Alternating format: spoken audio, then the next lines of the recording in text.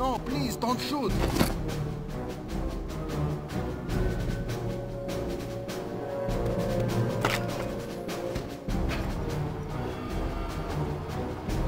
The lever on the right is to open the hatch doors.